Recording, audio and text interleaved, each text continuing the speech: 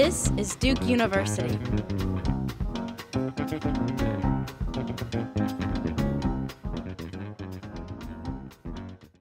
If you ask me in the abstract uh, what my preference would be in terms of how to address the racial disparity in wealth, I would say let's introduce a reparations program.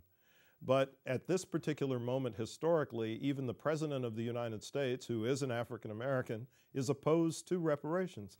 And so we began to think about the development of a program that could be directed at the children, the newly born children of families that we describe as being wealth poor.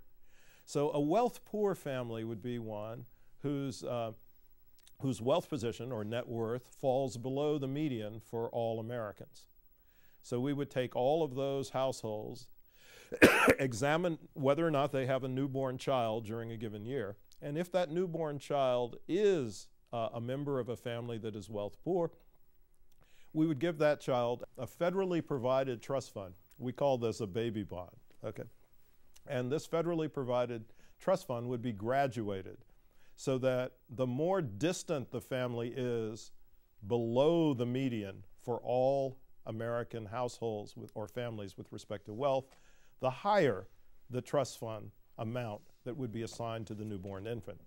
So the, uh, for those infants that are born into families in the very lowest quartile of the wealth distribution, we would give them a trust fund that would be in the amount of fifty to sixty thousand dollars, and we would reduce that amount as families get closer and closer to, to the median. Kids would not be able to access this trust fund until they reach uh, 18 years of age.